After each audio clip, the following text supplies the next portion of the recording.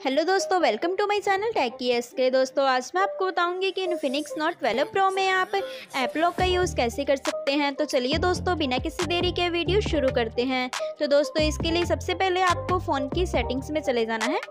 Settings में जाने के बाद आपको यहाँ पे ऑप्शन मिलेगी। आप यहाँ पे देख सकते हैं सिक्योरिटी की। आपको यहाँ पे क्लिक करना है। उसके बाद दोस्तों, आपको यहाँ पे ऑप्शन मिल जाएगी ऐप लॉक की। आपको यहाँ पे क्लिक करना है।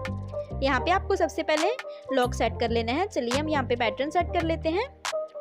एक बार फिर से कंफर्म करेंगे। एंड देन यहाँ पे आपको आंसर देना है। आपको जो भी आंसर देना है, वो आपको याद रखना है।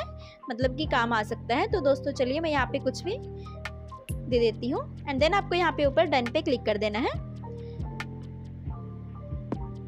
उसके बाद दोस्तों, आपको यहाँ पे सभी ऐप्स शो हो जाएँगी। आपको जिस भी ऐप को लॉक लगाना है, आपको सिंपली उस ऐप के सामने बने हुए ये वाले लॉक वाले निशान पे क्लिक कर देना है तो ऐप को लॉक लग जाएगा ऐसे। और दोस्तों, अगर आप इसे अनलॉक करना चाहते हैं तो आपको फिर से यहाँ पे ये जो लॉक का निशान है, आपको यहाँ पे क्लिक करना है ऐसे तो ये अनलॉक हो जाएगा।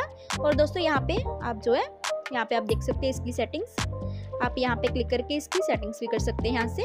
अगर आप ऐप लॉक को, यानी कि डिसेबल करना चाहते हैं तो आपको यहाँ पे, यहाँ से आप इसे डिसेबल कर सकते हैं। और अगर आप जो है पासवर्ड चेंज करना चाहते हैं तो आपको यहाँ से चेंज कर लेना है, यानी कि चेंज कर सकते हैं। और दोस्तों, चलिए मैं यहाँ पे इसे डिसेबल कर देती हूँ। मैंने यहाँ से इसे ऑफ़ किया and then done turn off पे क्लिक कर देंगे तो ये डिसेबल हो जाएगा।